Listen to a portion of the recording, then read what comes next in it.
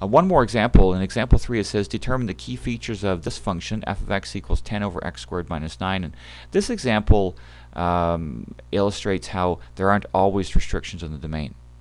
And remember you find restrictions on the domain by finding any value that would make that denominator expression, the x squared plus 9 in this case, 0 and, and there are no numbers, that's why it says it cannot equal 0. There are no vertical asymptotes, so the domain is the entire set of real numbers. Uh, if I went to try to solve for x here, I would subtract 9 from both sides. And so I would get x squared um, cannot equal negative 9. And you can't take the square root in the real numbers of a negative. So there are no values that make that denominator equal to 0. So there's no vertical asymptotes. The domain is the entire set of real numbers.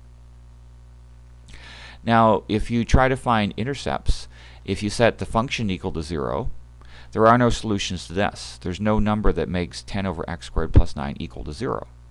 Uh, the only way you could have that equal to 0 is if there was an x up here, like if I had 10x equals, I could have 0 for an x, and 10 times 0 would equal 0. But if there's only a constant in the numerator, that's the part that has to be able to get a value of 0 for it to equal 0. So there are no x-intercepts at all. There is a y-intercept though, because if we put 0 in place of x here and here, 10 over 0 squared plus 9 is actually just 10 ninths. And so just above 1, 10 ninths is 1 and 1 ninth. Just above 1, there's a y-intercept. So that's where it goes to the y-axis. Now as x approaches a large positive or a large negative, the value of 10 over x squared plus 9 tends towards 0 from the positive side. And just to illustrate that, bring my graphing calculator up here again. If I type in 10 divided by, well, let's say even 10 squared plus 9. That's not really that big an x value, but notice that the uh, function value is uh, getting close to 0. It's becoming a large, sorry, a number quite close to 0. If I make the number bigger, let's say we did 50. 0.00398. If I made it even larger, let's say I made it 500. Put another 0 in there. Now this means actually point zero zero zero zero three nine nine nine eight five, etc. So it's actually getting close to zero. This actually is, is in scientific notation. And if I do the same thing except this, make this negative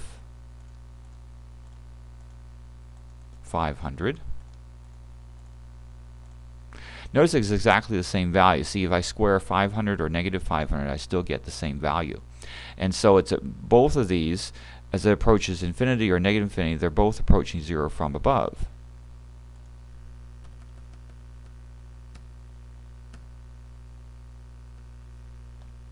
So there's a horizontal asymptote of y equals 0, and the graph approaches it from above to the far left and the far right. And so the graph must look like this. As you approach the far left, it's, it's approaching 0, but staying above the x-axis where y equals 0. And the same thing happens to the right.